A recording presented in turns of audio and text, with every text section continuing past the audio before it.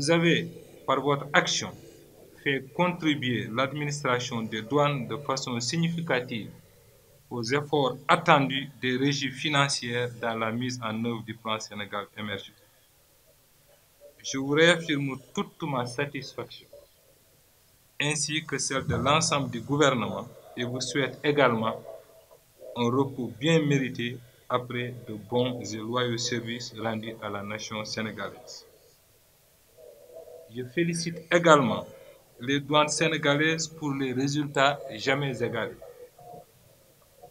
Bravo à vous tous et félicitations. Vous avez, je viens de parler au président de la République, c'est dans le bureau du directeur général, vous avez tous ces encouragements et toute sa satisfaction. Il vous encourage et vous félicite.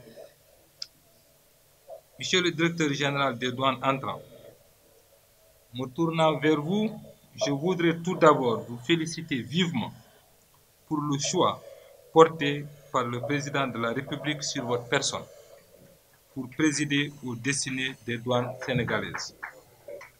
Je formule à votre endroit mes meilleurs, mes voeux de prière ardents pour la réussite de votre mission.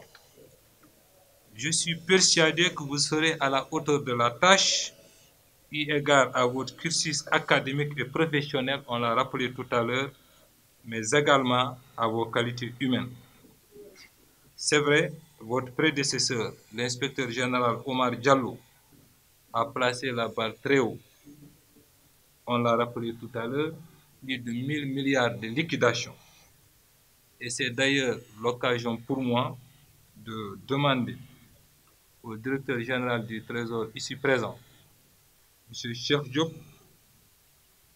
de travailler en relation avec le directeur général des douanes pour rapprocher davantage les liquidations des recettes attendues.